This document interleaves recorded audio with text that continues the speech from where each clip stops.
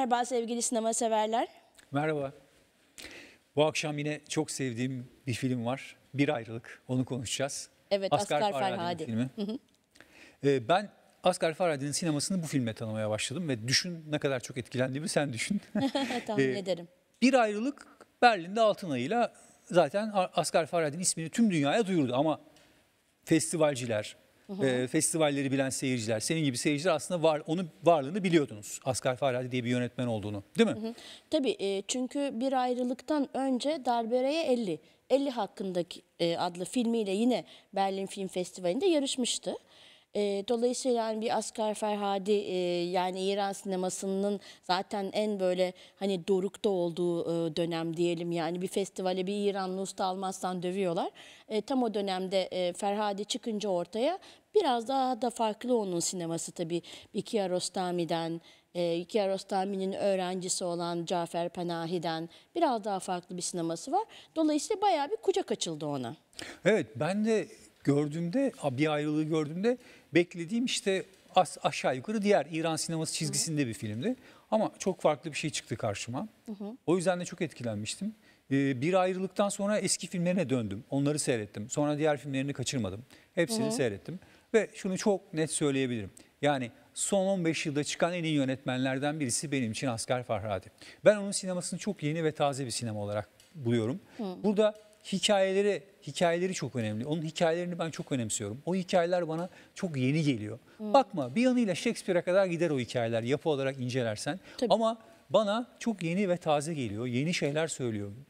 Öyle, öyle düşünüyorum. O yüzden Farhadi benim için çok önemli bir sinemacı. Ve bir ayrılık da onun başyapıtı olarak görüyorum.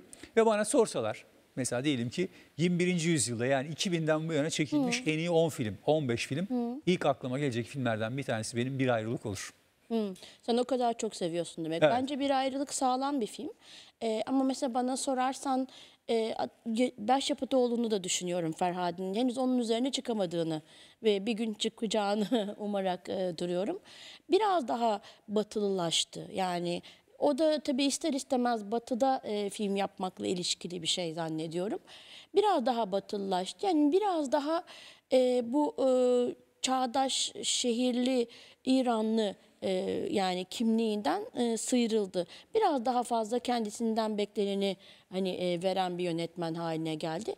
E, aslında Derbere Yeğli de çok çok iyi bir film. İnşallah onu da yine bu kuşakta e, göstereceğiz.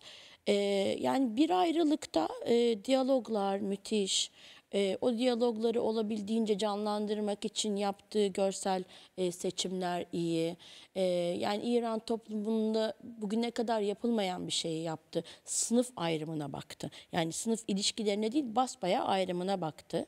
E, insan ilişkilerine baktı. İnsan ilişkilerinde de yine İran sinemasında e, çok rastlanmayan bir ayrılma sürecine e, baktı. Evet onu da söyleyelim. Film Evet. bir ayrılık sürecini anlatıyor. Nadir ve Simin. Evet. Ee, Simin yurt dışında yaşamak istiyor.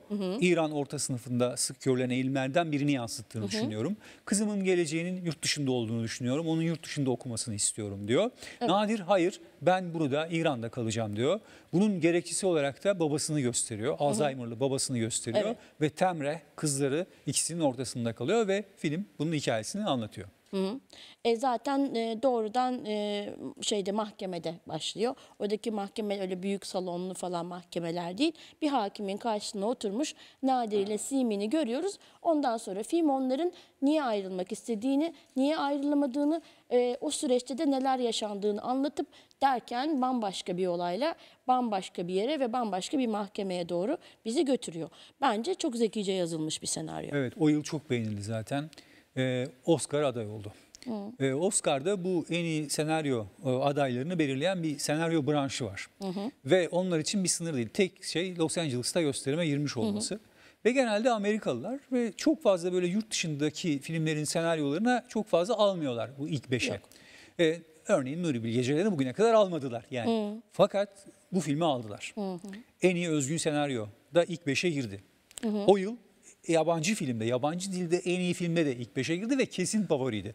Yani şöyle son yıllarda kesin favori olan filmlerden bir tanesiydi. Yüzde yüz alacak diyorduk. En iyi özgün senaryo Oscar'ını o yıl Woody Allen kazandı. Ee, işte Paris'te geçen filmiyle. Ee, Midnight in Paris'te aldı. Evet. Ve ondan sonra bir açıklaması var. Diyor ki e, tabii ki yanlıştı ödül. Aslında Asgar Farhadi'nin alması bir şey gerekti. yani. Zaten bu yılın en iyi filmi Bir Ayrılıktı demiş Allen. Kendisi e, almasına rağmen ödülü. Ya benim için tabii şöyle bir şey daha var. Aynı sene yarışıyor da aynı e, bölümde. Torino atı var. Yani e, tabii şöyle bir şey var. Torino atı sinema. Bir ayrılık iyi bir film. İkisinin arasında şöyle bir inanılmaz hani e, fark vardı. Dolayısıyla o sene 2011 yılını benim için Torino atı aldı götürdü sürükledi. E, bir ayrılık için e, şöyle tereddütlerim vardı ama zamanla filme daha çok ısındım ben. E, birincisi çok iyi oyunculuk olduğundan, iyi metin olduğundan. E, bir de e, biraz daha zannediyorum e, hani meseleyi koyuşundaki incelikleri zamanla kavradım. Yani insanın oturup filmleri bir daha izlemesi, bazen üzerinde düşünmesi, en önemlisi de yazması gerekiyor. Ben de e, Asgar Ferhadi'nin e, Antalya Film Forumu'nda e, işte davetli olduğu yıl e, master class'ının moderasyonunu yapacağım diye bir Asgar Ferhadi e, yeniden üzerinden geçmesi yapınca bir ayrılık e, benim için de yani önemli bir yere oturdu. Evet. Yani sen tanıştın Asgar Tabii, Farhadi tabii. ile. Antalya'da masterclass'ını beraber Evet, yaptınız. evet. Neydi izlenimin oradaki? Ee, birincisi sinemayı çok seven ve işini çok ciddiye alan, söyleyecek sözü olan bir insan. Ee, yani hayatta bakışı, filmlerindeki karakterleri, özellikle kadın erkek e, ayrımı e, karakterlerindeki ve onun kadınları biliyorsun biraz cazgırdır, bağırır, konuşur, eder. O halinden hoşlanmıyorum ben. Erkekleri de tam tersine böyle sakin, duran, uzlaşmacıdır. Çünkü Asgar Ferhadi'nin kendisi öyle. öyle sakin bir insan, olgun bir insan, uzlaşmacı bir insan belli ki. Ee, ve biraz alter ego olarak sanki onun filmlerindeki İranlı erkek karakterler ortaya çıkıyor. Peki senaryo yazarları yani kendi senaryoları ile ilgili tüyolar vermiş miydi orada katılanlara masterclass'ına? Çünkü ben yani konuşacağız filmden sonra ben çok başarılı bir senaryo yazarı olduğunu düşünmüyorum. Hayır. Çok başarılı bir senaryo yazarı olduğunu Evet, düşünüyorum. yani tüyo verdiğini düşünmüyorum. Hayır. Ee, çok çalışıyor. Yani benim bildiğim e, senaryo üzerinde kılı kırk yaran şekilde çalışıyor. Yalnız başına çalışmıyor. Yani o da hani e, böyle nasıl diyeyim bir sürü yönetmen e, kimisi biraz sanatçı egosundan e, kimisi öyle rahat ettiğinden tek başına çalışır ama yönetmen de vardır mutlaka bir senariste bir senaryo doktoruyla yani yahut yapımcısıyla yakın ilişki içindedir. O da biraz yakın ilişki kuruyor yani o herhalde uzlaşmacı kişiliğinden dolayı. E, evet öyle içe dönük bir yönetmen değil dışa dönük bir yönetmen. O yüzden aslında e, bir ayrılıktaki gibi o da biraz ülkesinden ayrılıp e, işte yurt dışında özellikle onu bu filmin başarısının ardından hemen kendi ailesine katan Cannes Film Festivali aracılığıyla e, Fransa'ya doğru e, kariyerini kaydırdı. E, Cannes öyledir yani e, mesela Berlin e, keşfetti, parlattı, ortaya çıkardı. Hemen el attılar ve hemen ondan sonra e, bütün filmlerini e, Cannes'da göstermeye Evet başladı. o yıl tam bir işte 2011'di yanılmıyorsam tam bir bir ayrılık yılıydı yani. E işte Altın Ay'ı alması peşinden uzun vadede işte Oscar'ın gelmesi her şeyle birlikte herkes Asgar Farhadi'yi tanıdı. Özellikle Amerikalılar da çok sevdi yani dünya Avrupalılar da çok sevdi. O yıl onun yıldızının parladığı yıldı ve bence hak edilmişti her şeyle hak edilmişti bir başarıydı. E, filmde e, kızı da oynuyor onu da söyleyeyim Evet, hoş evet. bir ayrıntı olarak. Yani Terme'yi Terme. kendi kızı Sarine e, canlandırıyor. Çok da iyi canlandırıyor. Evet. E, yani e, bir de çok kilit bir karakter aslında filmde. Evet, onu öyle- konuşacağız sonra. Evet onu Gerçekten sonra evet, konuşacağız ama çok önemli bir karakter Terme.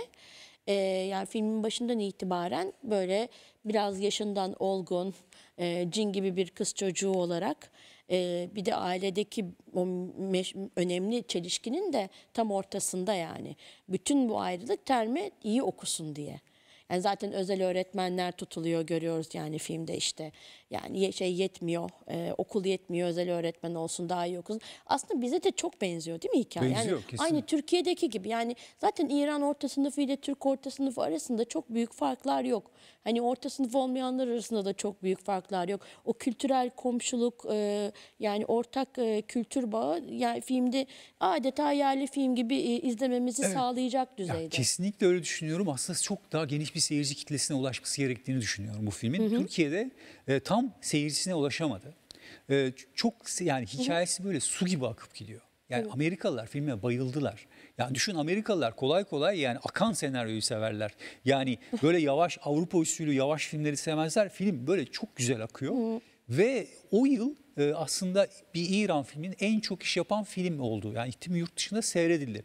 Her yerde yani dünyanın birçok ülkesinde gösterime girdi. Evet. Ve seyirci açısından da çok iyi sonuçlar aldı. Aldı. Ee, yani bence burada Türkiye'de biraz o dönemde gösterime girdiği yıl ıskalandı. O yüzden şimdi çok güzel fırsat var bence. Ee, seyretmeyenlerin mutlaka seyretmesi lazım. Dediğim gibi hikayesi yani o hikayeyi aldığın zaman hani e, gerçekten çok akıcı bir hikaye onu söyleyebiliriz. Ee, ve hikaye ben zaten en çok e, Asgar Farhadi'de en çok sevdiğim şey de hikayeci tarafı, senaryocu tarafı ama yönetmenliğinde de çok beğendiğim noktalar var. Onları filmden sonra konuşmak istiyorum. Ama böyle yani gerçekten e, sahicilik, inandırıcılıksa, bunu kurmaksa mesele yani Asgar Farhadi bunu dakikasında kuruyor ve bizi içine alıp götürüyor. Evet. Yani oyunculara da bir söz edelim istersen. Ben Evet. Leyla Hatemi'yi çok beğenirim. Çok çok iyi bir oyuncu. Ee, çok genç yaşından beri e, İran sinemasının önemli filmlerinde e, rol aldı. E, dolayısıyla e, Türkiye'ye de geldi. E, birden fazla kez geldi zaten. İlk geldiğinde Doğu'nun Kadınları diye çok hoş bir böyle geniş etkinlik diyeyim festival gibi bir şey e, yapmıştık. E, ben de yine onun da ne tuhaf bana hep moderasyonları düşüyormuş demek.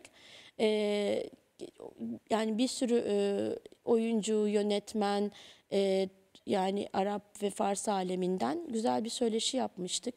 E, çok önemli filmde oynuyor ve çok doğal oynuyor. O doğallığını koruyabilen bir e, şeyde genç kuşakta e, biliyorsun İran sinemasında e, biraz şey var. Popüler olanların hemen hepsi kendi doğal fiziksel görünümlerini bozdular. Daha böyle estetikler yaptırıp farklı yönlere gittiler. Leyla bütün bu tazeliğiyle çıkıyor. E, duygularını çok güzel e, yansıtabiliyor. Ben onu e, çok beğeniyorum oyuncu olarak. Valla ben de çok beğeniyorum. Leyla Hatami ben o filmden sonra birçok yabancı filmde göreceğimi düşündüm. Fakat galiba kendisi İran'da kalmak istedi. Evet. Yani bence ona çok teklif gitmiştir. Evet evet. Yani bir ayrılıktan sonra Leyla Hatami'ye dünyada, Avrupa'dan, Hollywood'dan falan çok teklif gitmiştir. Ama bence o orada kalmak, orada yaşamak istedi. Sinemacı bir aileden geliyor. Evet babası, babası sinemacı, yönetmen. annesi şarkıcı Annesi, oyuncu. Evet öyle bir aileden geliyor. Hakikaten çok iyi bir oyuncu. Ee, yani ben burada Türkiye'ye geldiğini bilmiyorum ama hakikaten e, sen tanışmışsın. Evet evet Ee, kaç kere geldi. Nadir'i oynayan da aslında senaryo yazar olarak başlamış. Ee, o da o da iyi bir oyuncu. Evet. Ee, yani onların hepsi iyi oyuncular ama işte İran sinemasında gerçekten müthiş bir potansiyel var.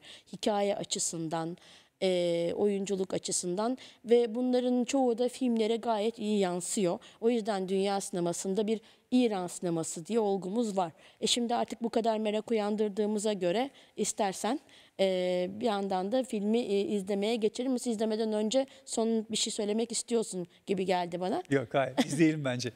Tamam o zaman. Ee, iyi seyirler. Filmden sonra görüşmek üzere.